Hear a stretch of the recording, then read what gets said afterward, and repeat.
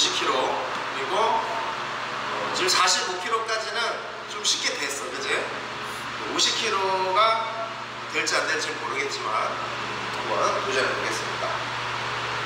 아마 풀 컨디션이 될것 같은데 조금 긴가민가 한데 가보자.